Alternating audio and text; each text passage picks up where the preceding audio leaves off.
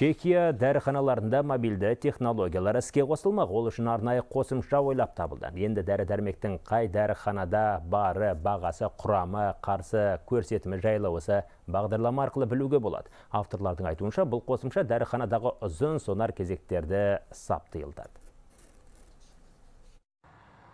Бүгінде кез келген дәріханадан қажетті дәрі-дәрмекті табу қиын.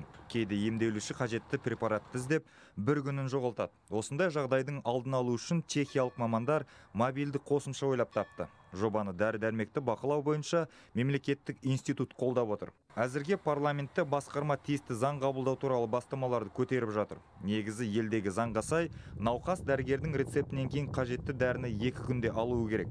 Олай болмаған жағдайда дистрибьюторге ауқымды көлемде айыппұл салынады. Қосымшаны ойлап табуға қарапайым тұрғындардың әңгімесі түрткі болды. Метрода адамдардың дәрі таппай сандалғанын жиі еститінмін. Сондықтан осындай мобильді қосымшаны ойлап шығардық. Қажетті дәрінің қай дәріханада барын біліп, алдын ала төлем жасап қоюыңызға да болады. Тұрғындар мобильді дәріхананы қолдану үшін тек қосымшаны телефонға жүктеп алса жеткілікті. Содан кейін іздеу жүйесіне қажетті препараттың атауын енгізесіз. Бағдарлама дәрінің қай дәріханада барын, қанша дана қалған, бағасын өз анықтайды. Науқас сондай ақ алдын ала төлем жасап, кез келген уақытта қажетті препаратын алып кете алады. Кассада қосымша берген кодты көрсетсеңіз болғаны.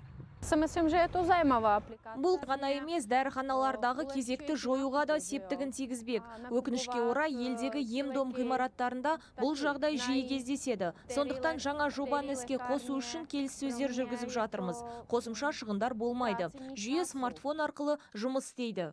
Әзірге мобильді дәріхана бүкіл елде бірден іске қосылады деу қиын. Дегенмен бұл саланың өкілдері жаңа бастаманы бір ауыздан қолдап отыр. Себебі қосымша дәріханалар үшін де, қолданушылар үшін де қолайлы. Ғани Мұқаш, Надежда Дрейгл, Дмитрий Улықша, Вадим Чех, Хабар 24, Прага, Чехия. Өскеменде